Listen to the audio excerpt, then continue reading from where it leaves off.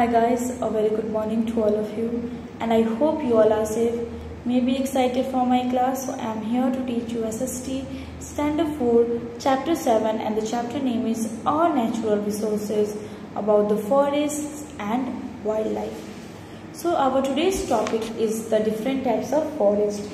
But before starting the chapter, we will take a short look at what we have learned in earlier classes related from this chapter. Before starting the chapter, I request all of you to please stay at home and enjoy your quality time with your family members. You can enjoy like playing the Ludos, Carrom video games. In fact, you can complete your holiday homework project works because these marks it will add in your term 1 exam. You can complete your homework which you received on online classes and please complete your all homework. It should be in good handwriting legible handwriting. And please use dark pencil. You have a lots of time so please use the time and you can complete all the pending work. And please don't go outside. It's a very serious disease. Because of these virus we can die also. So it's better that we can stay at home. We can enjoy our time with family members. You can attend your online classes. You can read your books also so that your reading skill will improve. Then you can write uh, for improving your handwriting you can write down at least two three page handwriting. And you can complete the previous homework also in good handwriting. And I hope you guys had completed your healthy and delicious breakfast. So eat healthy and stay happy at home and whenever you are going to eat your meals, please wash your hand before and after your meals properly so it will the germs will not go inside your bodies and be just safe from the COVID-19. And see these all instruction I am giving you every day in every online classes. It means that it's important and you have to follow these every day.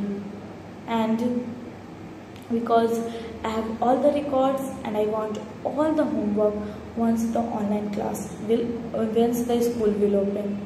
So it's better that you can complete it. You have lots of time. You can complete your homework. And once the online class will over please don't keep your books in corner side. You can stick out the times and then you can just maintain make the routines. And then you can just follow the routines. And then you can read the chapters whatever I have just I'm just teaching you on online classes. And you can just stick out the pencil also. So the important line I will told you that you should always also learn it. And the all topic please learn it. It's very very important. And I hope that you guys have purchased your book. If you don't then please purchase it as soon as possible. Next so let's start so natural is? Our natural resources it's what? Now uh, like uh, natural uh, nature has gifted us a lots of things. Exactly the nature has gifted us lots of things like air, water, sunlight, soil, forest, minerals, wildlife. So these all things are what? These all things are called natural resources. The things which we find from the nature, the nature has gifted us gifts that is called the natural resources. And we depend on these resources for our daily needs. For our daily needs we just depend upon these all natural resources. Types of natural resources. Exactly we have a, at least we have a, the natural resources are divided into two types. The natural resources are divided into two types. That is exhaustible and inexhaustible. Exhaustible and inexhaustible. So, exhaustible is what? Exhaustible resources which are limited means it's the some which resources which has limited like and it gets reduced when we used it gets reduced in quantity when it can be used by the people. So these are called exhaustible resources. Exhaustible resources we can say the non-renewable resources also. Two words but the same meaning.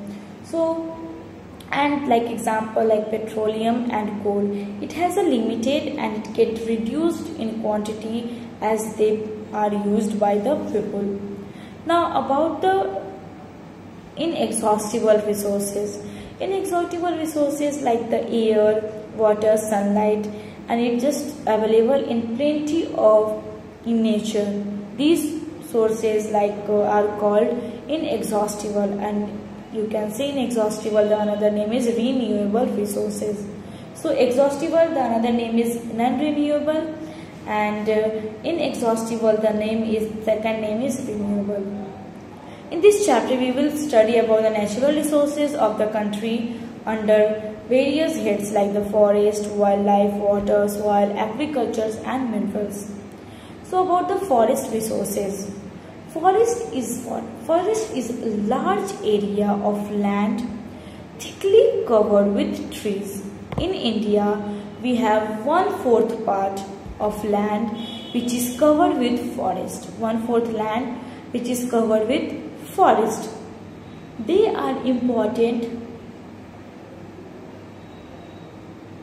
natural resources and are useful to us in many ways these all are what it's a main important natural resources and it are useful to us in many ways like trees and plants it gives us oxygen when we need to breathe because with the help of trees and plants we can breathe trees and plants is very important in our life because they gives us air to breathe and without breathing we can't live so trees and plants it helps us it gives us oxygen that we need to breathe. The root of the trees it prevented the soil from being washed away. Forest also improved the quantity of soil and make it more fertile.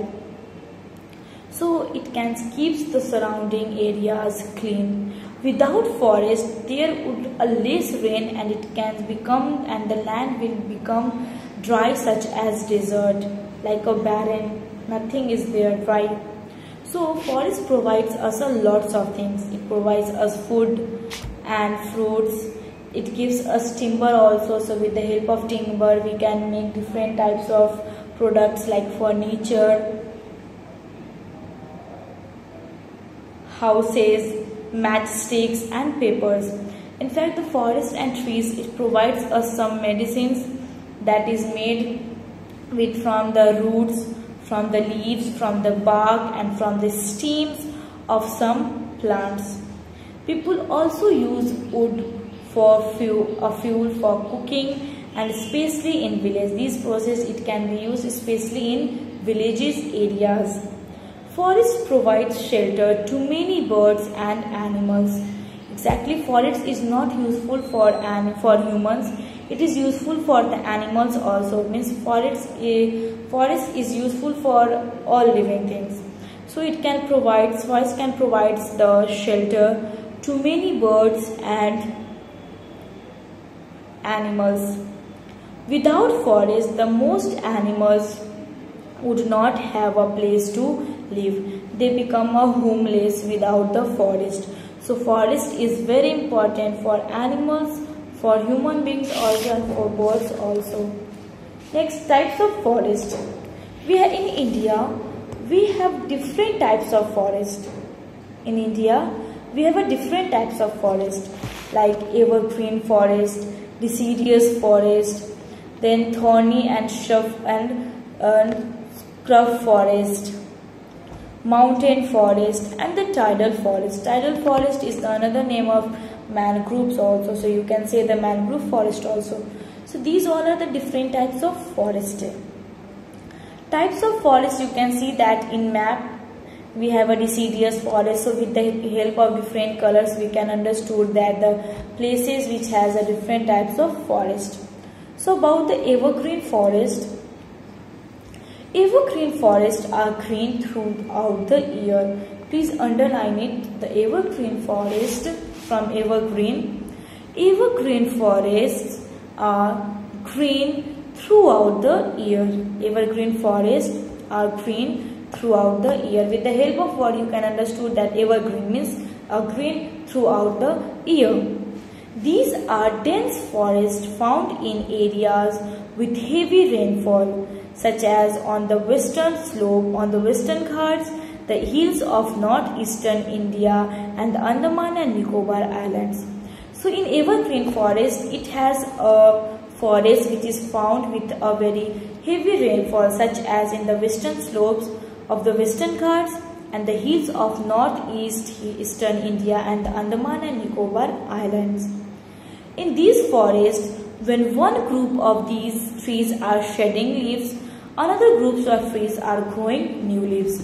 So in evergreen forest trees, in these forests, if one group of forest, if they, the trees are shedding their leaves, then the another groups of trees, they can grow their uh, new plants. Means one is just uh, shedding their leaves, then second is growing their new leaves. The trees in these forests are tall. Means in evergreen forest, the trees is very tall.